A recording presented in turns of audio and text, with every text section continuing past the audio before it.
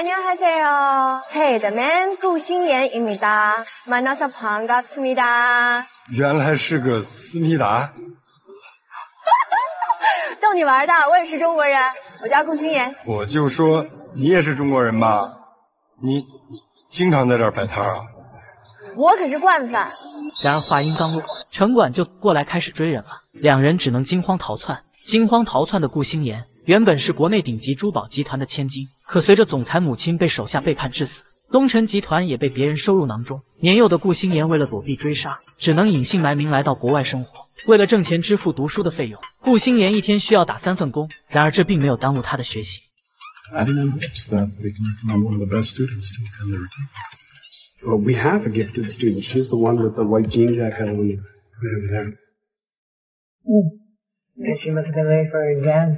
You're right. I cut her time limit in half. But I can assure you, she'll still finish first in the class.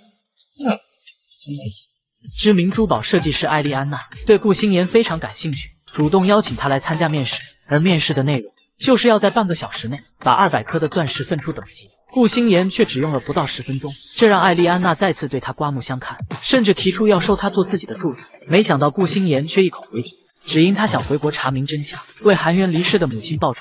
可顾心妍来到东城集团后，却遭到了面试官的刁难。很高兴有这样的机会可以坐在这里。养父母带大的，加拿大拉萨尔学院艺术设计学士，蒙特利尔大学 MBA，还差点进了戴尔普斯。